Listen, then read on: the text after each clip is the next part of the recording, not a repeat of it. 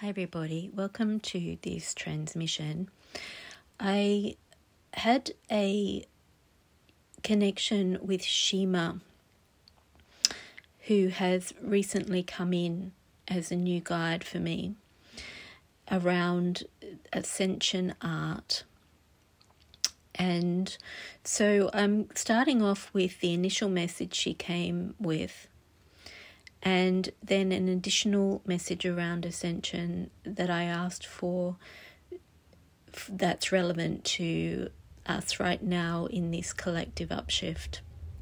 And then at the end, I will share with you um, how a, a question and answer session that I had with her around the art and the figurine. She instructs me on what to put in the figurine. So if you're interested in energy art or transformative ascension art, as she calls it, um, and the training program with attunements, you may be interested to listen to the section at the end there.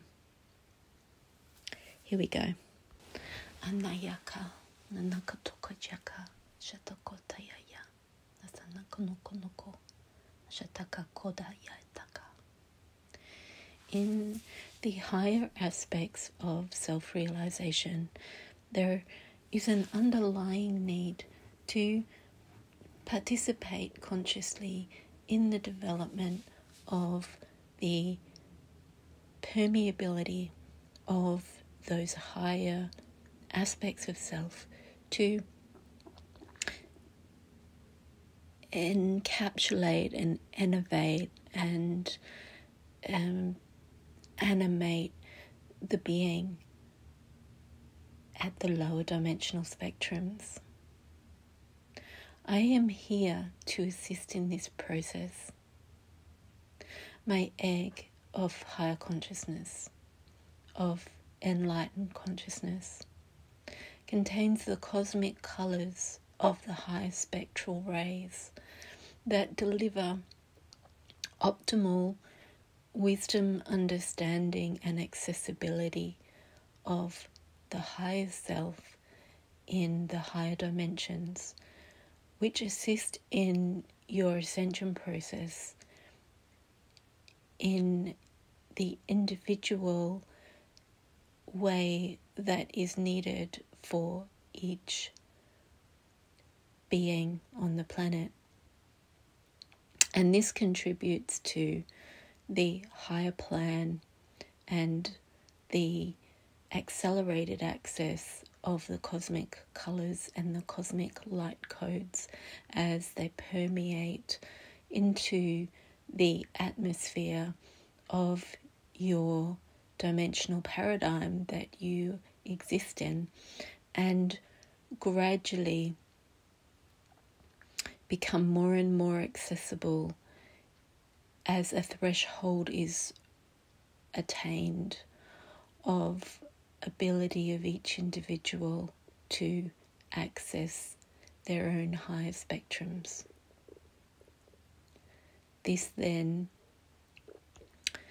paves the way in a demonstrable way for others to follow, but it also creates a higher field of consciousness at an energetic level and a resonance that creates an upshift that has momentum and carries forward with less effort required. I come with this egg of higher consciousness containing cosmic colours to assist you to disperse these frequencies through light language and physical products of books and artworks. Healing transmissions and messages and teaching processes. Anakiataka chotatayaka. In the highest light and love, blessings to you. So, asking Shima for her message today that she wants to bring through. And this card from the Unveiling the Golden Age deck by Izzy Ivy um, is a tree that is suspended between heaven and earth there. You can see its roots going into the earth and its branches in the heavens and it's similar colours actually. It's all the fluorite colours, the cosmic colours.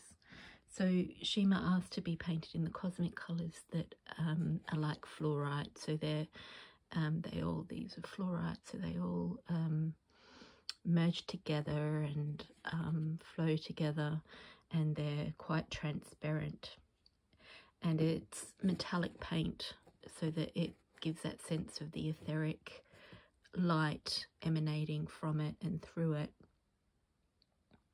And the egg that she holds also is made of those cosmic colors and those cosmic colors are coming into our atmosphere. Um, the light workers are working with them and anchoring them into the earth. So you can see that coming down through the tree and anchoring into the earth. Um, and cleansing it, clearing it, uplifting it, upshifting it as part of the ascension process. So what this tree here is about in the deck, uh, it's called the suspended one, which is like the hanged man in the tarot where you're in a moment of pause, where you are reflecting and receiving, and in this particular card, integrating. You're integrating the higher light codes, um, the cosmic colors coming in, and you're integrating them and going through an up leveling and up shifting and upgrade. So while that's happening, we don't want to be making decisions and making pathways forward because the decisions that are going to be made from that place are different to what you would make from a lower perspective before you've shifted up. And when you're shifting up, you're receiving new gifts. Um, so what are some of the spiritual gifts you can receive? You can start to notice that you are telepathic, that you're hearing what people are thinking, that you're feeling them thinking about you, that your ears prick up when you feel them thinking about you or talking about you. Um, there, you could suddenly start to get visions or communicate with guides in your sleep. These are all higher level gifts that come in when you upshift. And it will be different for everyone depending on what your soul gifts are, what your soul's purpose is, and where where you are on your journey. But wherever you are, there's an upshift happening to another level. And to fully receive that and integrate that, you need to rest and you need to tune into those higher senses of listening, listening to your physical body, listening to your soul, to know when it's time to rest and integrate and when it's time to follow that inspiration that comes through. And that inspiration and that urge to action often comes with the gifts. So you get the tools, the resources, and then you get the urge to use them and with the urge comes the wisdom on how to use them. But it's a period of um, part of the period of integrating is about learning how to use those gifts and learning what things mean, learning what you're feeling, learning what the gifts are.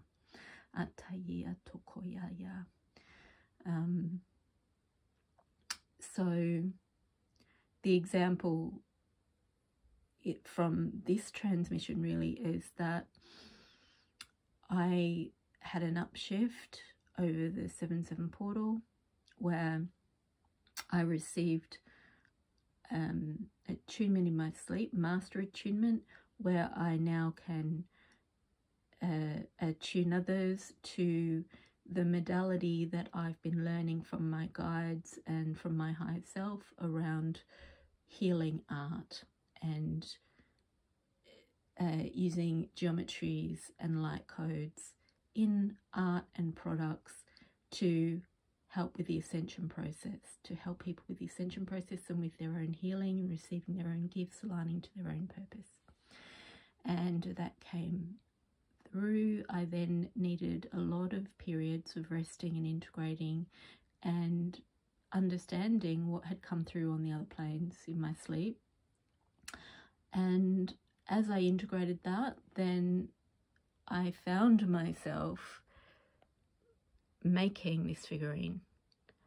And I hadn't realized at that point consciously that I was creating my new guide that had come in to take me through uh, this this process of anchoring and establishing this training program um, until I found that I was creating much more galactic kind of patterns and dresses than what I'd been creating before in the angelics when I was working more with the angelic energies wanting to come through an anchor.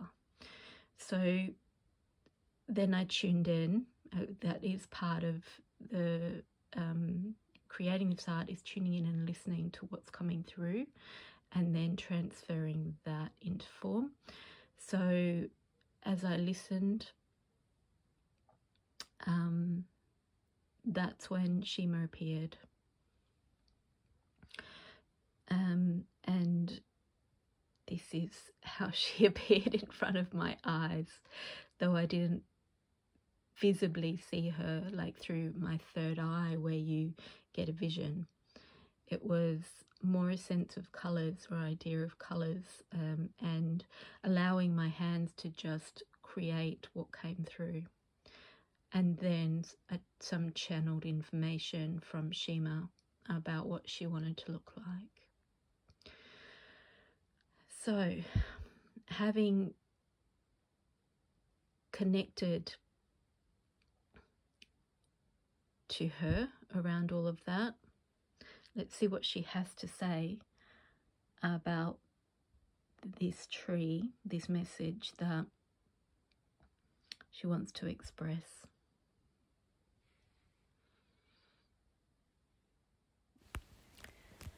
Ataya katoya akatia oya kaya toya kata ya katasia ko. So you see those spirals in the tree and all the way down the tree. We have been working with bringing light codes via spiraling patterns that uplift the collective physiology and consciousness up to the next level atayoya tayaka takaya tokoya akatoya atiaka. The colors, as you say, are significant in terms of their potency and potential to uplift and upshift. Akatia yoya tayaka. Akatoya ya tayaka toya kadakaya toya. Akatoya tatia katoya ya ya yo tayaka in the upshifting of the collective consciousness through the physiological changes in the body in response to light code activations. There are numerous uh, um, up levelings and upshiftings that occur in micro granules and what we mean by that is there is a greater upshift with many smaller parts upshifting independently within the whole. And these are all coordinated in an order for each individual that is of the best and easiest pathway for that individual. Inside of that, there are also individuals shifting independently at differing rates. but the overall collective upward shift is in a general band of upshifting. This upshifting is a key component of the current phase of ascension that is heightening the perspectives and conscious understanding of all involved. So, those already at the forefront are receiving much more information than ever before, and those at the tail end of upshifting, exactly where they should be, are gradually gaining the downflow of the frequencies in due course in divine timing, which is bringing their level of consciousness higher, but not at the level of the forerunners. These forerunners are accessing streams of consciousness that have never yet been achieved on this planet before akaya toya akatia yoya taya akatia yoya taya kaya akatia yoya atia yoya taya to akatia toya atia koya ta akatia toya kaya ta. As the band broadens somewhat to eh, because the forerunners are reaching such heights and the mainstream are shifting upwards but not at the same rate, there is a broadening of that band of consciousness, yet the movement is always upward. Upward shifts have a momentum and there is a momentum that has been created that has a jet stream that pulls up the stragglers. Akaya toya akaya. As the earth is concurrently upshifting, and the resonance, therefore, is higher there is no place for lower density consciousness and it cannot exist on the planet when the resonance does not match. Therefore, there is a an unconscious upshifting of all.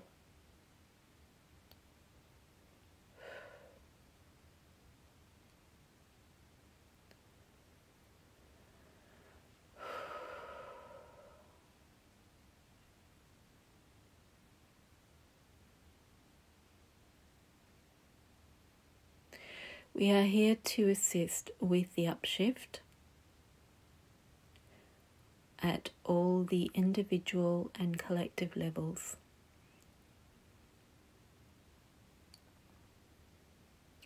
And we thank you for your presence here. Blessings to you. So that was the transmission. I am going to go back now and share some of the initial question and answers that I had with Shima around the uh, purpose of bringing light codes into the art and where she actually brings some codes and downloads them into the bottom part of the dress there in the form of light language writing, which she wants me to transcribe, and a little bit about the training program and her role in that. Um, so here we go. Shima, can I ask um, which part of the galaxy you're from and are you associated with the Galactic Council of Light? Inakocha tiaka katiaka toa tayaka. Thank you for asking me. I am feminine origin and I am of a higher angelic spectrum that resides in the Pleiades. I have come as a representative of the light as requested by the Galactic Council of Light. I am honored to assist you in your service work in the ascension of the earth. Blessings to you. Thank you, Shima. Thank you for being here. Can I ask you what colors you would like to be painted in in your figurine? Atayaka tiakato. The soft colors that you have been seeing in your mind's eye, they are the true colors of my garb and my gown the soft fluorite colors are very resonant to my being and my frequency and the loving energies that I bring to you. The egg and my head are also resonant colors to that which you have created. You can soften these slightly more to give a sense of my true, gentle, loving essence. The light codes downloading now into my vessel are present always but will be activated with the light you will put inside. Ayatiaka, okachatiaka, akatayayaya. You are seeing light language symbols. These symbols can be written on the pattern at the base of the dress at the front. Ayakatoya. Ishatiaka Kato. I'm downloading those light codes fully now so that you can access them in your dimension and write them onto the vessel. Ayatiaka. Ayatiaka toyaka. Akatiaka toyata. Akaya toyaya. Okoyaya akoya ya tia ya ya ya taka toya tia aya ya ya taka tokoko akatia ya ya taka kotoko tia ya taka tia toka akataya ya ta ya yo yo atatia ya ya ya ya yo ayatia ka oshotoko taya ashatiko taya tia la toka tia akatia toya la takaya to akatoya taya la katoko toya ya akatoya ya. Ya takatoka chia la toko. Akatatia toya takatia ta akatatoya katia cha toko kocha tia kaka la kato akatachia katotaya taka akatoya tala katoko taya kakatoya tia tubuko taya tia kata alalatiakato alalatiayato tatiato katakatiata ochakataka osokutokutakayataka katayataka otia taniana nokunakanikanakanokurantikanaka isatakatata osokukutokukokootayaya otananananianakana あたなねやななかのくなねななななねなかのくなか。あかとやたあかたやか。おしあたかやや。あかとやたやかたやか。いなかのくの。やななかなかねななかの。ななな。なななねななかてやとたたた。いしししし。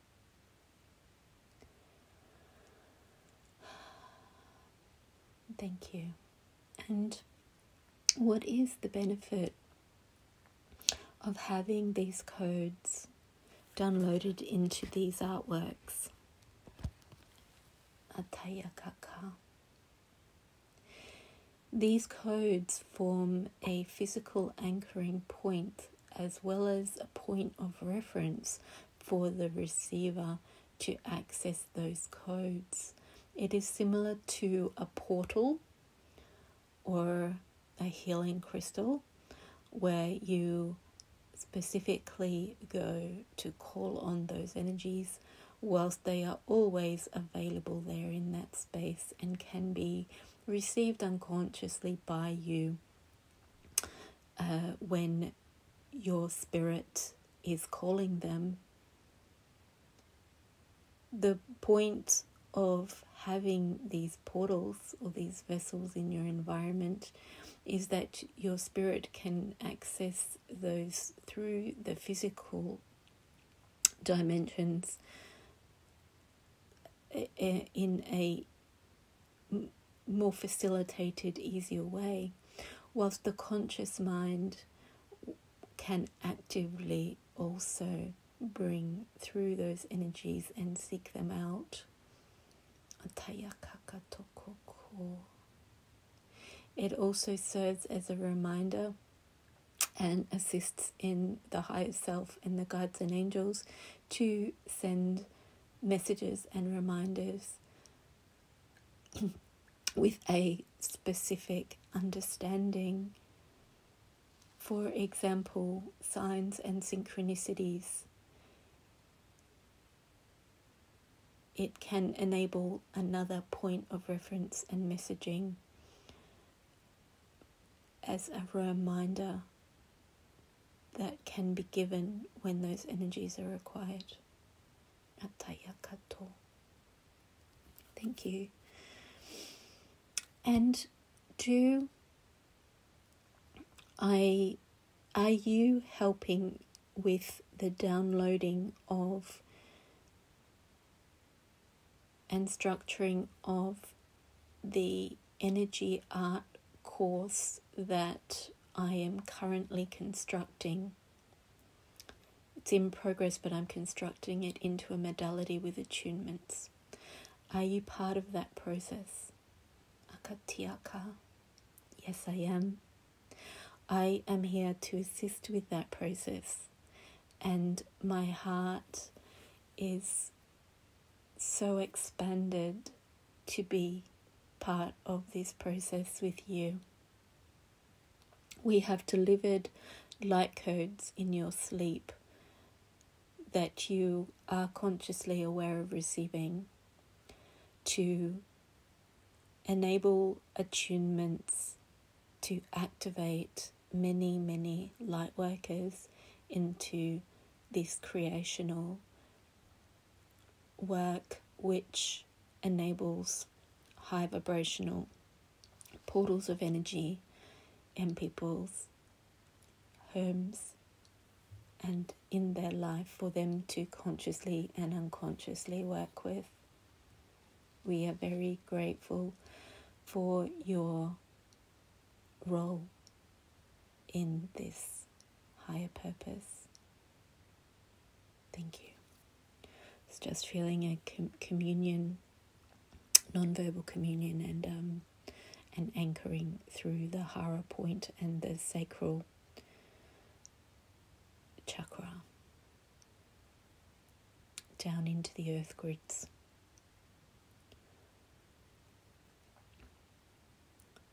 I've known for quite some time, about 15 years, that I was going to be creating this art into a modality, and I've spent 15 years learning about how it works. And um, over the last year, I have been on Patreon teaching energy art in live workshops, and I've now just had the go ahead at the same time as Shima has arrived um, about how to structure it. Um, I'm getting clarity on how to structure it as a proper training program on how to not only bring these ascension energies, higher energies, and tensions into artworks, but how to use them in configurations um, for specific healing purposes and ascension purposes.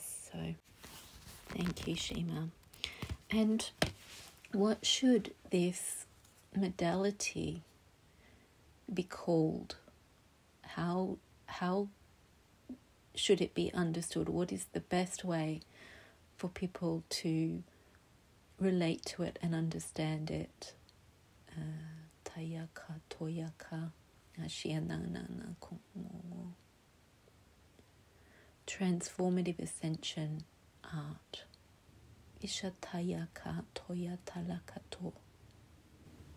There is a means of disseminating this information whereby the artist can create threads and streams of consciousness energetically that creates the understanding for the recipients of their artworks and for the mainstream people to understand the potency and effects of these creations that are being disseminated through the current paradigm on earth and assisting with the ascension. The